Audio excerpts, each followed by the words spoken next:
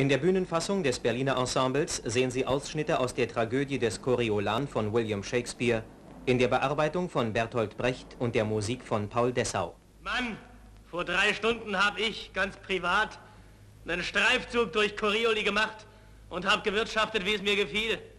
Und täusch dich nicht. Die Maskerade hier ist Volskerblut. Streng dich gefälligst an. Willst du das rächen? Hektor könntest du sein. Der Kraftprotz deiner prahlerischen Vorfahren. Ich mach dich hin. Jetzt schlacht ich dich!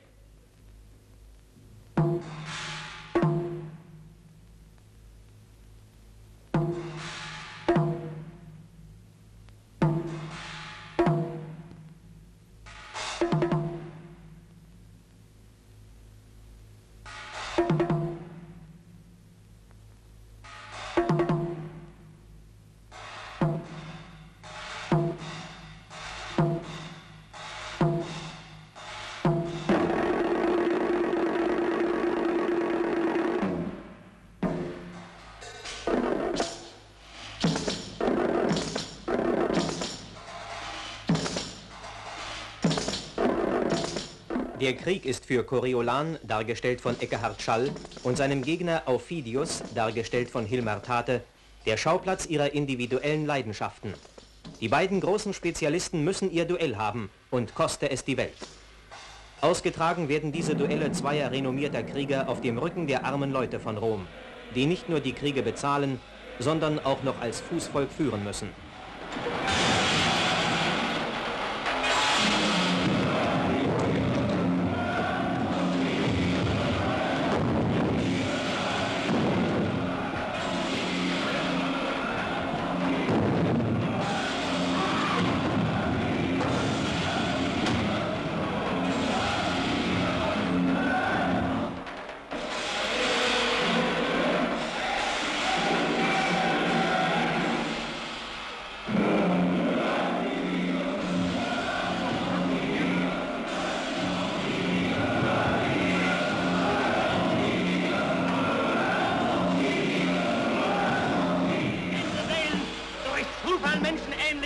Und Sklaven, die jeder Affe wisse, Hölle Pluto, die Rücken rot, die Fressen bleich, bleibt stehen, greift an, sonst lass ich Feind, Feind sein und schlag euch tot.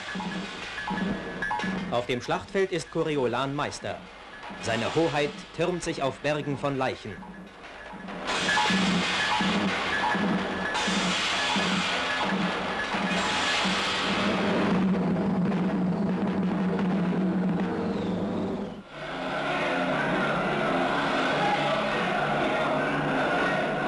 Nach der Eroberung von Corioli wird Coriolan zum Konsul gewählt.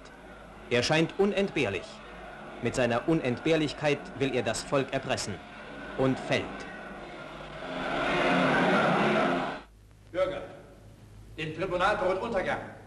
Der Mann, der euch um eure Stimmen anging, den ihr zum Konsul machtet in der Hoffnung auf Korn, verweigert alles und bedroht das Tribunal und damit euer Recht. Bürger, kein Wort ist wahr und will euch täuschen. Coriolanus, wir als Volkstribunen erklären dich als Konsul abgesetzt, erklären dich zum Feind des Tribunals, Empörer, Feind der Republik.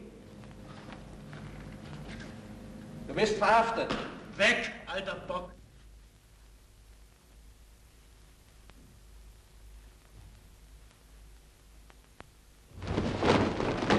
Schwert weg, Schwert weg! Coriolano! Er ist sein Kurzschwert angelangt. Jetzt seht ihr. Er ist geblieben, was er immer war. Hauptfeind des Volkes. Nieder mit ihm! Tribunenwärter! Wer sich am Tribunal vergreift, verdient den Tod, das ist Gesetz! Wir stürzen ihn von dem Trapez! Nieder mit ihm!